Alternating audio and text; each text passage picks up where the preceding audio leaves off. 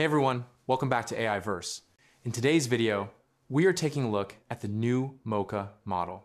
Mocha is a truly impressive video character AI model that's rapidly pushing the boundaries of what's possible in terms of character replacement and video generation. It's generating a lot of buzz, and for good reason. So what exactly is Mocha, and what can it actually do? Mocha takes a source video clip and a mask frame, typically the first frame along with a reference image of the desired new character.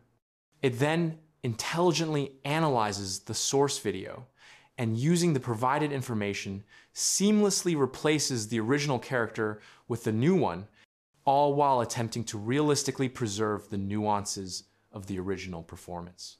Mocha is designed to handle complex elements such as lighting variations, subtle facial expressions, realistic body motion, and even changes in perspective. It's similar in some ways to other AI video tools like Wan Animate, but with a unique approach.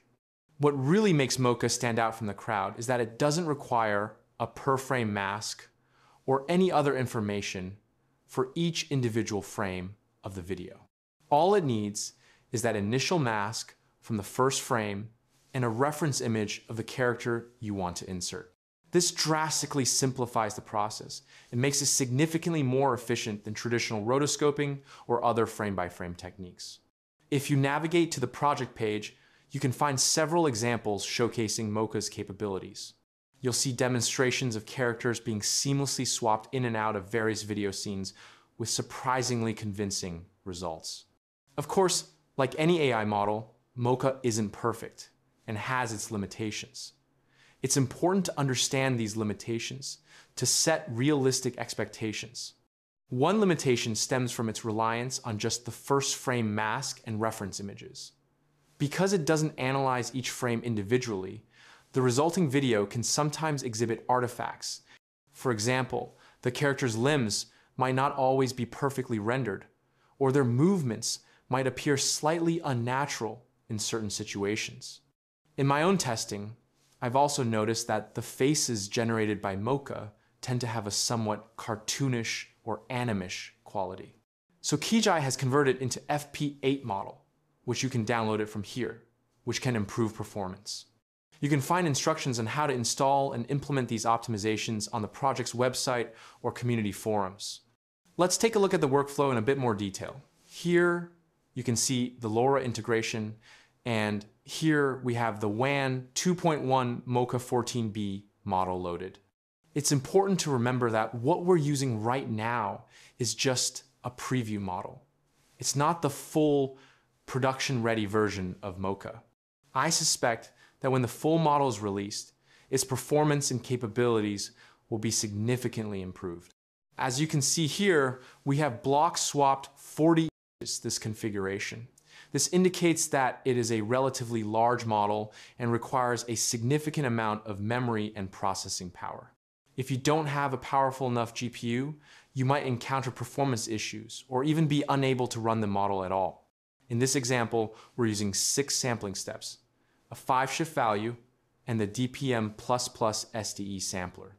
Over here is where you would input the reference video. This is the video that we are going to use for the character replacement. These are the available model lists, which you can easily access by clicking on the appropriate options in the user interface. And here's where you can upload your reference images. Mocha allows you to upload two reference images, giving you more flexibility in defining the appearance of the new character. We'll test out this configuration, and over here, as you can see, this is the video that we obtained as a result of the character replacement process. As I mentioned earlier, you can see that the face has a slightly cartoonish quality. However, overall, the character's motions are surprisingly accurate and well executed. The AI seems to have done a good job of mapping the movements of the original actor onto the new character.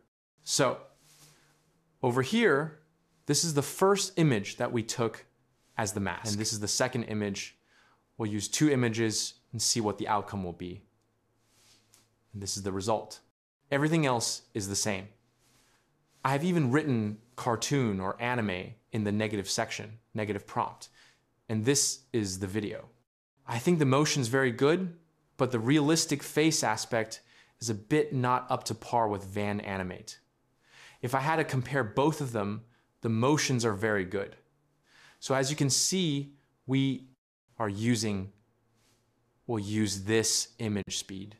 So over here, Kijai has given us some rules how to use the reference image too. So you can use the face image for better quality if you want to use it. So as you can see, you just, this point editor, you just have to do one frame and point it out, not like the Wan Animate 2.2. So over here, I'm trying to use 20 block swaps, just like the normal one, which will use higher VRAM. And we're using the same, and this one looks pretty good. So it's the same green t-shirt, the sweatshirt, uh, the hair is the same, everything. The motion is also very good. Let's take one more example. I'll just change the width and the height for the video. So we'll run this one right here. And in the point editor, you have to choose which one you want to edit in the green circles and in the red, which you don't want. So we're going to use speed again. And as you can see, there's speed. So this is just normal video. It's not doing much motion or anything. Okay, so let's take another image. Sorry, video and keep speed the same. Okay, and I've done block swap 20. I think block swap 20 gives you better results, way better results in my testing. So if you want to use, you can use 20, but if you have low VRAM, use 40. I'll keep it here only. You can just attach it. Okay, so here's the video. So this looks pretty good, very good. I'm not gonna say it looks 100% like speed, but at least 90%, which is very good because as you saw, this is the preview model and not the full-fledged model. And I've also increased it to 720p. Okay, so this one came out to be pretty decent. So I'll give the workflow in the description, like always. But as you guys know, my Patreon just got banned. So I'll be giving the workflow in the Buy Me a Coffee website. Okay. We're going to take that same walking girl image, video, sorry, and we're going to use Vegeta. So here it is. So this one didn't come out very good.